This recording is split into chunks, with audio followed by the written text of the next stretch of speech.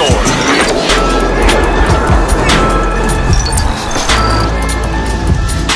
all have in our hearts a longing to go to work every day and to create. That's part of what makes us special. Actually, let me put it this way. We all have a creative longing to realize our potential. It's one of the most fundamental of all human hungers.